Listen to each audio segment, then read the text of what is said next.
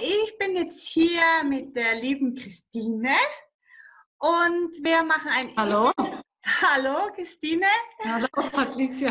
Und wir wollen ein Interview machen. Die Christine erzählt schnell über sich und äh, kurz, ja, wie sie zu mir gefunden hat und kurz, ja, schnell mal ein paar Minuten deine Geschichte.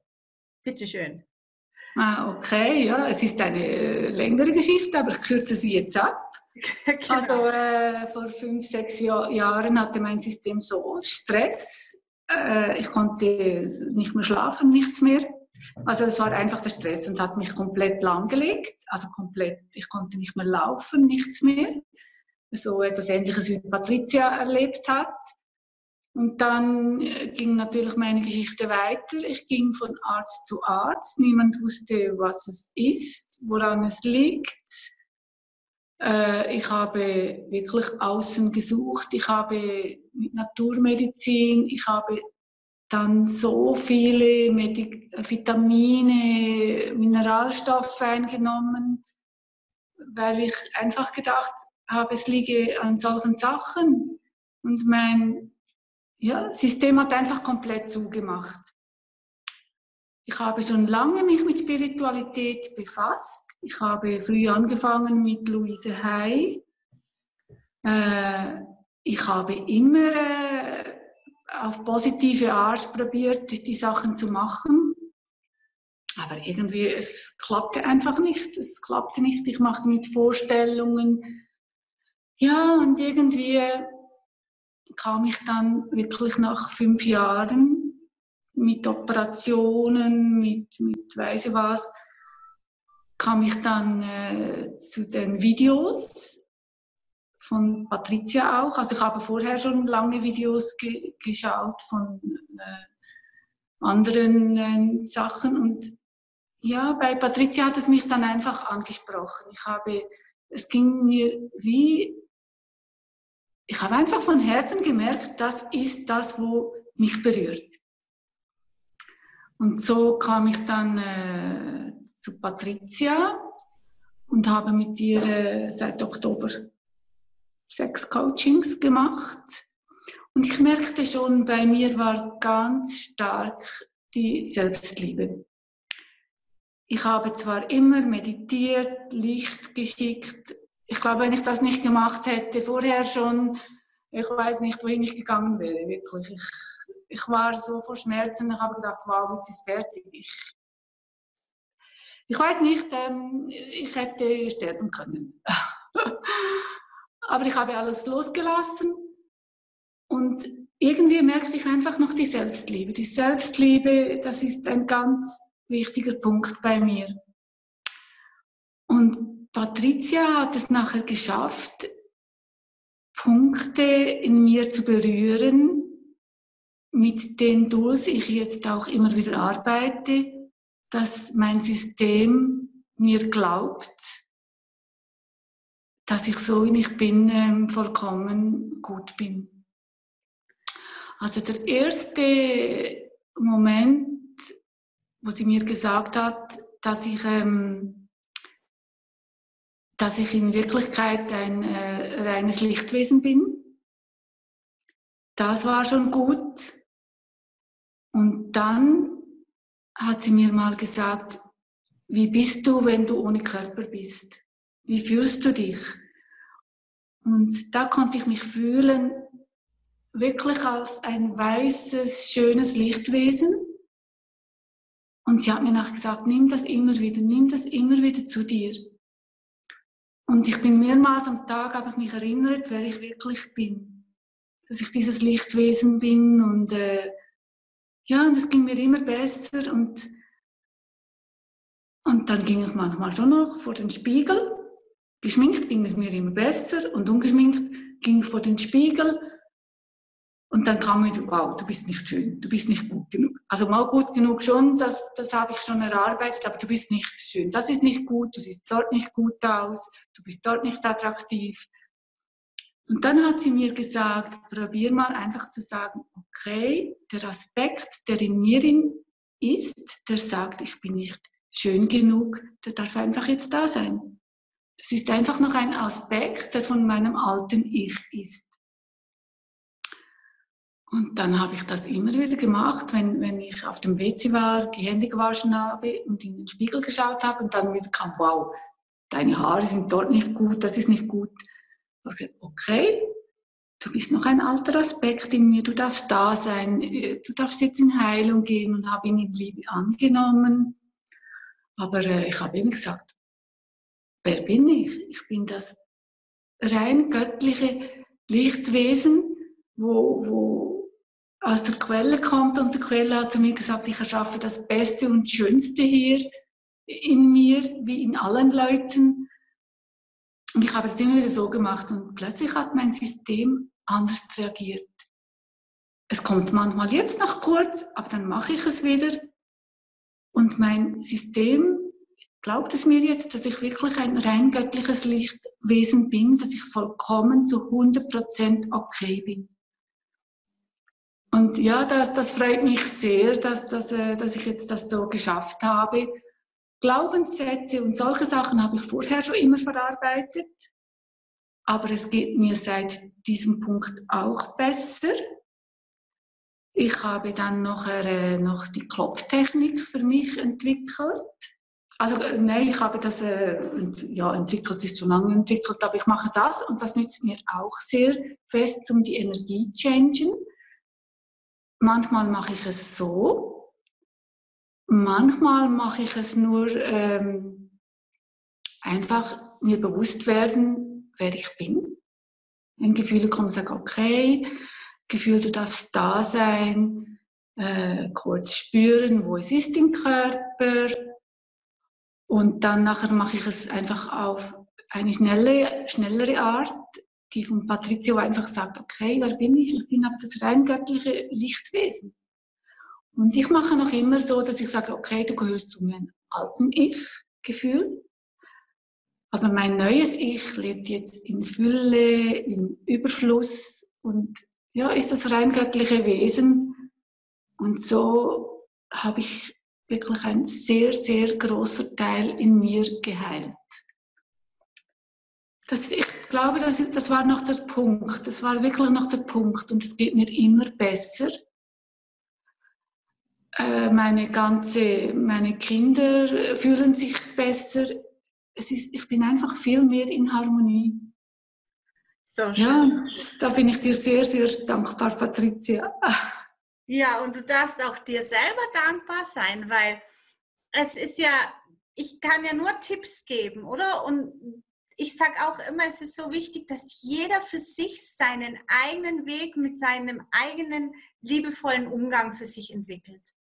Und das ist so individuell für jeden Mensch, selber diese, diese Beziehung mit sich selber aufzubauen. Ich glaube, so wie du es auch erzählt hast, das ist eins der wichtigsten Dinge, diese liebevolle Beziehung mit sich selber zu entwickeln, um dann eben auch die Energie zu verändern in sich und dann halt auch mit dem Außen. Und das ist Arbeit, gell? Das ist nicht. Das ist Arbeit, das ist wirklich. ich sage, es ist fast jede Minute Arbeit, weil ich bin so präsent, ich, ich erwische mich so schnell, wenn ich negativ denke äh, es ist wirklich Arbeit und durch die ganze Sachen habe ich, ähm, habe ich angefangen, das Hirn zu studieren, wie das mit den Neuronen und neuronalen Verknüpfungen funktioniert. Ich habe das alles aufgeschrieben. Ich habe sonst mein ganzer Weg aufgeschrieben, wie ich zu diesen Sachen gekommen bin, zu der Heilung und mein Wunsch oder nicht nur mein Wunsch, äh, ist das jetzt auch Leuten weiterzugeben. Weil ich habe so viel erlebt und ich habe es selber erlebt. Ich denke, so wie Patricia auch, die Schmerzen, das nicht mehr können, das nicht mehr weiter wissen, niemand kann einem helfen. Diese Einsamkeit auch. Diese Einsamkeit, Hilflosigkeit. Hilflosigkeit, ja, es ist wirklich, man, mir konnte niemandem helfen. Mein Mann verließ mich in dieser Zeit. Ich konnte nicht mehr laufen. Ich musste eine, ein Jahr eine Tschechin haben, die mir äh, den Haushalt schmeißt. Ich, ich kam von niemandem Hilfe, aber irgendwo weiß ich, die Tschechin kam auch zu mir, weil ich geführt worden bin. Ich bin immer wieder irgendwo geführt worden und der Schluss war jetzt noch Patricia und es geht nur noch aufwärts. Ja, ich habe Freude im. Mhm. Und ja? das ist auch wirklich zu erkennen, das Gute in diesem Drama, oder? Das ist ja schrecklich. Ich meine, du warst im Krankenhaus und also das muss man alles gar nicht mehr so hochpushen. Aber diese, dieser Weg, wo man genommen wird und sagt, okay, es gibt einen Weg, den zur Erkenntnis mhm. und du wirst einfach so geführt, wie wenn du es annehmen kannst, dass du dann irgendwann mal rückwirkend verstehst, für was es gut war, oder? Genau, ich weiß auch, was ich jetzt bei mir auflöse, das gebe ich auch meinen Kindern nicht mehr weiter. Das weiß ich, weil das war so viel Trauer. Das, das habe ich alles aufgelöst. Und wenn noch kommt, dann löse ich es wieder auf. Das, ich weiß jetzt, wie es funktioniert. Ich weiß, dass es nur geht mit Liebe. Ich gehe in die Meditationen. Ich mache auch noch viel die Meditation von, ähm, von Fester. Äh, die nützt mir auch sehr viel, weil die Sag Musik... mal, Gerhard Fester für... Gerhard Fester, ja. Diese 20, genau diese 20-minütige Meditation. Er hat eine für 10 Minuten mache noch diese 20 Minuten und in dem in den äh, Musik, wo er macht, nachher abspielt, das ist die Delfin-Musik, dann sehe ich mich laufen, ich sehe mich springen, ich sehe mich, ich sehe Ski fahren, wandern und die hilft mir auch viel noch. Aber jeder findet seine eigene Musik, seine eigene Meditationen. Ja, so ist es ja. Aber das Allerwichtigste ist, oder auch wie du gemerkt hast, du brauchst ein festes, einen festen Bezugsrahmen, wo du einfach weißt, wer bin ich in dieser Welt? Was habe ich, was habe ich für Möglichkeiten? Mhm. Wie funktioniert die Welt, das Leben aus mir heraus? Und das ist deshalb, was der logische Verstand braucht. Man muss irgendwie mit seinem logischen Verstand in einen Dialog kommen, dass mhm. der nicht mehr sagt, du spinnst, es geht nicht, du bist krank und so weiter, dass der irgendwann mal seine alten Überzeugungen ablegt und mit neuen Überzeugungen einen quasi selber unterstützt, oder? Das hast du ja auch mhm. gemerkt. Das war der Hauptpunkt, das war wirklich der Hauptpunkt, wer bin ich? Wer bin ich? Ist, ja, dass ich wirklich das Lichtwesen bin und, und ja, das, das, das war wirklich der Hauptpunkt und, und wie, wie, was der Grund ist, dass, was ich hier, was, weil, weil ich hier bin. Dass ich wirklich mich selber wiederfinde, dass ich weiß, ich werde geboren, ich vergesse alles, ich komme in diese Familie äh, und nachher wieder zum, zum Zurückerinnern. Das ist der Hauptpunkt. Das ist wirklich der Hauptpunkt. Und dann ja. gibt es aber auch kein Zurück mehr in ein altes Leben, in alte Denkstrukturen.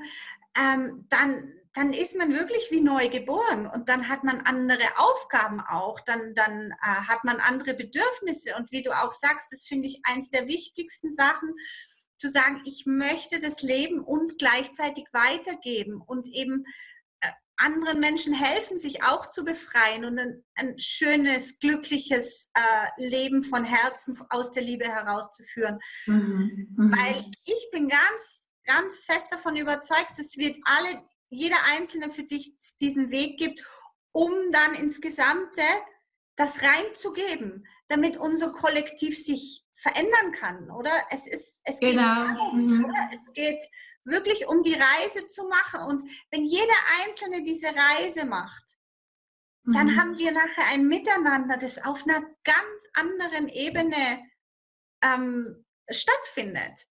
Ja, und, und das haben mir eben auch schon Mediums gesagt, dass ich das machen kann. Und irgendwie habe ich immer gedacht, ja, warum und so. Und dann Patricia hat mir das auch gesagt und da habe ich gesagt, ja, es hat ja so viele in dem Internet, die das machen. Und plötzlich kam mir, äh, ich kann das hier machen. Ich kann das nur hier in der Umgebung machen. Weil es sind so viele Leute, die schauen nicht diese Videos. Genau. Die lesen nicht die Bücher. Und es ist auch wirklich wichtig. Ich meine, du hast ein Studium hinter dich gebracht über das Leben die letzten Jahre. Ja, und es auch anzuerkennen, ja. ähm, dass man, ich meine, ich habe, ich war auch super faul in meinem Studium Betriebswirtschaft. Ich bin mhm. immer, wenn es vor die Prüfungen gab, gab es höhere Studenten und mhm. die haben die Prüfungen schon gemacht und haben dann so Curriculum für uns gemacht. Das mhm. heißt, wir sind dann quasi in so Vorbereitungs-, Prüfungsvorbereitungskurse gegangen und die haben alles für uns schon ähm, zusammengestellt und, und kom äh, kompensiert und, und zusammengefasst und uns das dann so vermittelt, dass mhm. ich das ganze Semester nichts tun musste ich bin dann drei Wochen zu denen in den Kurs gegangen. Ah, okay. und habe dann nachher meine Prüfungen geschrieben. Und mhm. die haben quasi die Arbeit gemacht. Ähm, mhm. Und ich durfte dann quasi nur die, das Wichtige, das, das Unwichtige haben die schon für mich rausgefiltert und so kon kondensiert, dass sie das uns immer weitergegeben haben. Und das war so toll. Und mhm. um das geht es ja auch im Leben, dass wir voneinander profitieren und, und so wie du die Dinge sagst und erzählst und weitergibst, den Menschen, die dir gut zuhören können, mhm. die können mir vielleicht nicht zuhören oder die können die Sachen nicht lesen, die verstehen die Videos nicht. Und ich denke, das ist einfach auch so schön und so erfüllend, das weiterzugeben. Das ist einfach mhm. etwas, wo wir lieben und dann leben wir es auch. Du lebst nur das, das was du weitergibst. Mhm. Und das finde ich so, so schön und ich möchte alle auch hier nochmal, die das sehen, ermächtigen und sagen, du brauchst dafür nichts außer dich selber und, und das Herzblut für das, was du darstellst. Und ja, wirklich, ja. Mhm. Und wenn wir mit unserem alten Ich sozusagen rumlaufen, das nicht gut genug ist und das immer kritisiert wird und nicht liebenswert ist, dann spüren wir gar nicht in uns eigentlich diese Berufung oder diese Mission, die eigentlich da ist, beizutragen für eine schöne, liebevolle Welt. Weil wir sind ja gar nicht irgendwie verbunden mit so einer Vision sondern wir sind die ganze Zeit am Kämpfen und versuchen gut genug zu sein und die Dinge endlich richtig zu machen und endlich Lob mhm. zu bekommen, mhm. endlich geliebt zu werden. Und das ist halt die Sackgasse. Und ja, ich, ich weiß auch, warum ich meinen Mann angezogen habe. Und weil ich immer Bestätigung wollte. Ich wollte immer Bestätigung von außen. Und, und, das war das ganze System seit meiner Kindheit her, oder? Und das habe ich jetzt gechanged. Ich, den nächsten Mann, den ich anziehe, ist wirklich, weil ich mich liebe und nicht, weil ich von ihm die Liebe brauche für mich. Das weiß ich, das ist, ja. Und, und wenn es sein muss, dann kommt der Mann und sonst, ich kann glücklich so sein, wie ich bin. Das ist ohne. Kein Mangel mehr da, keine Not. Keine Not, ja, sondern. Ich habe keine Not, ich, ja sondern wenn, dann ist es eine schöne Ergänzung, eine schöne genau. Erfahrung, genau. aber genau. einfach in Freiheit, oder? Freiheit ist, glaube ich, auch ein ganz, ganz wichtiges Schlagwort. Freiheit von diesen ganzen Zwängen und zwar ganzen Vorstellungen, wie Dinge gemacht werden müssen, die einem mhm. vermittelt werden. Und dann auch zu sehen, nein, es geht gar nicht um das, sondern es geht wirklich nur um Energie. Ja, es ist alles Energie, es ist wirklich alles Energie. Und das ist auch ein Punkt, wenn ich Schmerzen manchmal jetzt noch merke, dann gehe ich auch dort hinein und denke, es ist ja wirklich nur Energie, ich kann die changen. Manchmal, ich sage dann, okay, du darfst da sein und dann, manchmal spüre ich auch, wie fließt die Energie? Sie fließt so rund. Sage ich, okay, Sie kann aber auch so rund fließen, mit Freude, mit Leichtigkeit und manchmal mache ich es nur so und es funktioniert.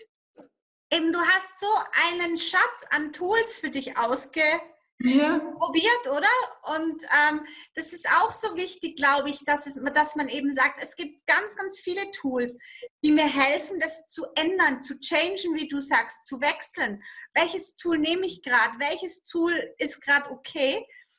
Aber davor muss natürlich dieses hundertprozentige Bewusstsein sein, wie du sagst, jeden Moment da sein, um zu wissen, gehe ich in die richtige Richtung oder muss ich die Richtung wechseln? Muss ich changen? Und das haben wir mhm. eigentlich, wir sind ja mhm. eingebaut. Wir haben das ja, wir haben ja hier unsere Emotionen, die sagen uns gleich, gut, schlecht, angenehm, unangenehm, leicht, schwer. Wir mhm. wissen es eigentlich sofort. Ja, es ist so. Und, und weißt du, was ich auch sehr gemerkt habe? Ich habe immer gedacht, ich sei positiv. Wirklich, ich habe ja immer die Bücher alles gelesen und habe mich immer so verhalten. Aber wo ich dann wirklich gelernt habe, dass da hinten immer eine Schallplatte läuft und die Schallplatte ist so ist wirklich zu 70 Prozent, sage ich, wirklich negativ und von Glaubensmuster und alles, was dort eingespeichert ist, als ich das gemerkt habe. Und dann, ich habe mich so viel erwischt, als die Schallplatte wieder lief. Und das ist auch ein Punkt, der sehr, sehr wichtig ist, äh, wirklich dich zu, zu fühlen oder zu erinnern, wenn diese Schallplatte läuft, okay, das ist das wirklich die Schallplatte von meinem alten Ich. Das sind die neuralen Verbindungen, die noch so funken, aber die kann ich changen. Ja, und dann gehe ich wieder zurück und change es wieder. Genau, das ist solange, Minute, ja. Mhm. solange du verbunden bist mit diesem alten Ich und nicht das quasi aus der Beobachtungsperspektive wahrnehmen kannst und meinst, das mhm. ist selber, mhm. bist du da wie gefangen. Erst diese Klarheit und dieses Bewusstsein, mhm.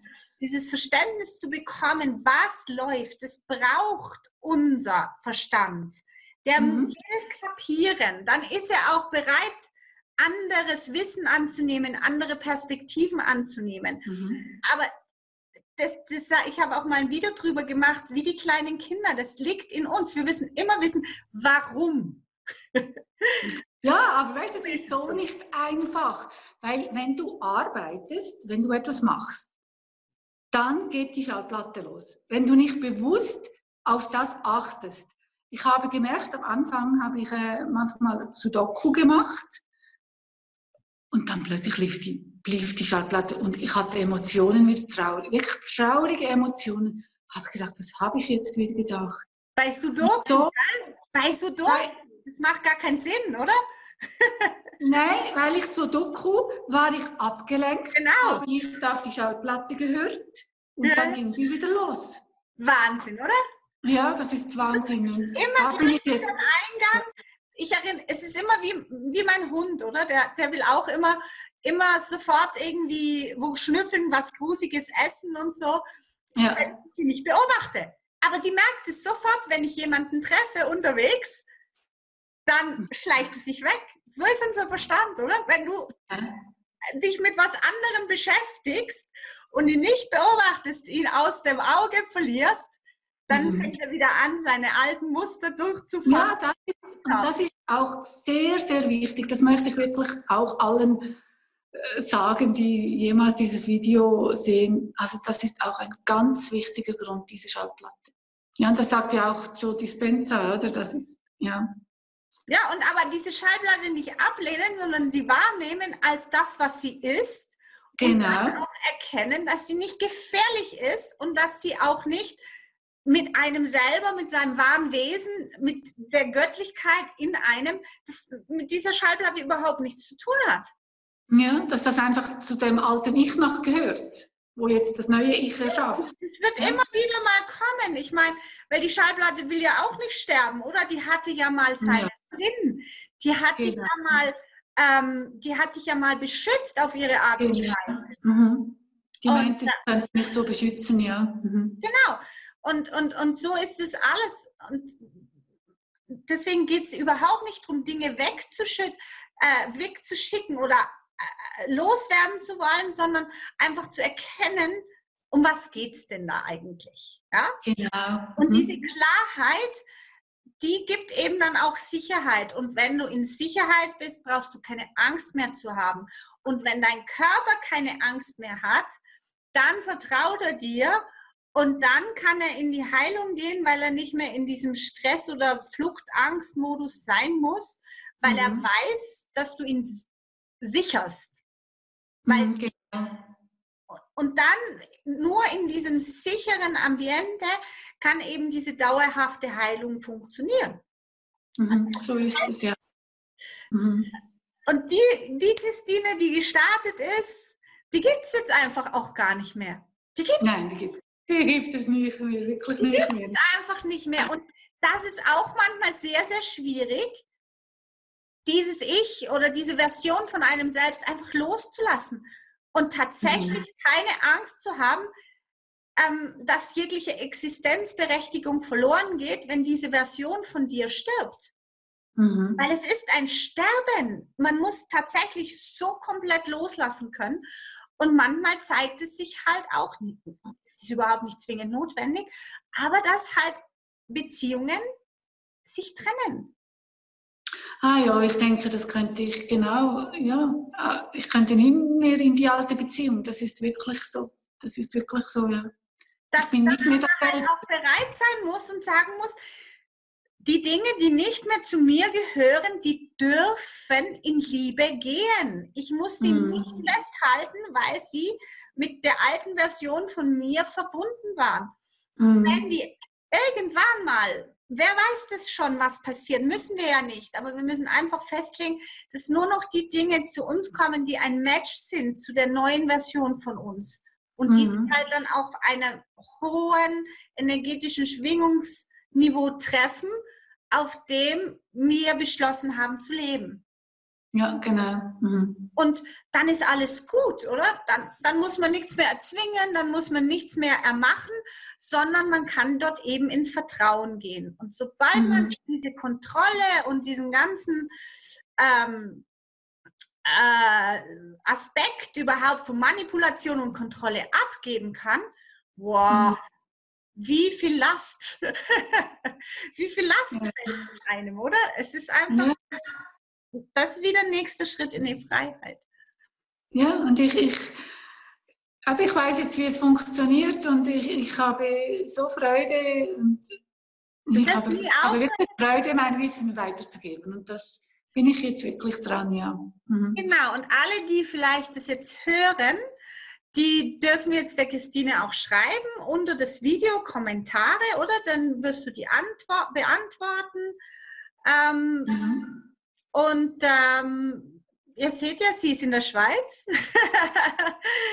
wir haben es natürlich auf Hochdeutsch gemacht. Unser Coaching war alles auf Schweizerdeutsch. Das war schön. Ja, genau. Aber wir haben es natürlich auch Hochdeutsch gemacht. Aber wenn jemand ähm, die Christine kontaktieren will, sie ist in der Schweiz, sie ist äh, eben möchte gerne Leuten helfen, unterstützen. Ihr dürft sie jederzeit kontaktieren. Und ähm, That's it. Ich mhm. danke dir für deine Offenheit. Es ist immer so, so wichtig zu teilen und sich nicht zu schämen und, und zu, nicht sagen, ja, ich war schon immer so toll, ja, und die anderen, ihr seid Loser. Mhm. und das geht's nicht. Wir haben alle unsere Päckchen zu tragen. Und ja, und wir gehören alle zusammen. Das ist, das ist so. Ja, und es wird wieder schlechte Momente geben. Aber die ja. werden immer kleiner und die werden immer kürzer und die werden immer weniger schlimm, die werden immer weniger schwer. Und ähm, das ist der Weg und er wird nie enden. Er wird nie ja, enden. Ja. Mhm. Nie. Genau. Wir nicht darum, irgendetwas erreicht haben oder geschafft haben und sich dann dort auszuruhen. Wir sind mhm. hier, um uns weiterzuentwickeln und zwar in die Unendlichkeit. Ja, genau. Wo es mhm. aufhört. Wir müssen einfach die Bereitschaft an den Tag legen und sagen, wir müssen nirgendwo ankommen. Nein, und ich habe Freude, ich habe Freude, diesen Weg zu gehen. Das ist wirklich, ja. Und der Weg ist das Ziel. Und wenn ja. der Weg, der gabelt sich und der ist, es ist ein unendlicher Weg, mhm. der sich gut anfühlt. Und mehr braucht es nicht für hier, habe ich das Gefühl. Wir gehen ja, genau. das Leben und wie Dr. George Spencer auch immer sagt, ähm, wir sind verliebt ins Leben, wir freuen uns des Lebens und sind gesund dabei. Mhm. Und dann ist alles gut, oder? Dann ist alles genau. gut. Genau. dann haben wir es geschafft. Ja. Also vielen Dank. Wir beenden hier, damit es nicht zu lange wird. Und ähm, ich habe mich riesig gefreut. Mich auch. Danke vielmals, Patricia. Ja. Ciao, ciao.